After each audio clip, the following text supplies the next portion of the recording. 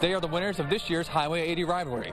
Coach, you're 6 0. How does it yeah, feel? It feels really, really good. Our kids have done the things it takes to be here, and I'm awful proud of them for being here. God, they played a good football game tonight. 75 points. Talk to me about this offense. Well, we got some good kids. you know, when you when you got kids like Jet and, and Colt and our offensive line and Prox and Blaine and them, it's easy to call plays. You know, and uh, man, they just they believe in it. You know, we didn't we didn't throw but one pass tonight. You know, and we knew that coming in that we were going to just take this thing and try to run it at them and see what we could do with it. And, and boy, they bought into it. And when you got your receivers that like to catch for 100 yards on the week, you know, and they just say, just just hand me jet sweep or just let me block, and we're going to win the game. That's all they worried about was winning the game, and I'm awful proud of them for that.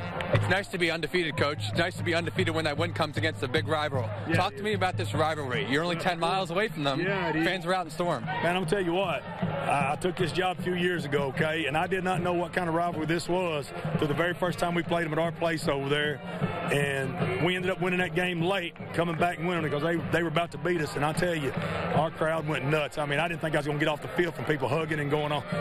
Uh, this a big. It's a fun rivalry though. It's not something that's uh, it's not something that's bad. It's a fun rivalry. Our kids buy into it. Their kids buy into it. The fans, like you saw the stadium tonight, it was packed, and that's just that's what Friday, Friday night football is all about in high school. The Indians are still undefeated after week six. Kyle Owens and Michael Coleman will talk about if they can stay that way in overtime.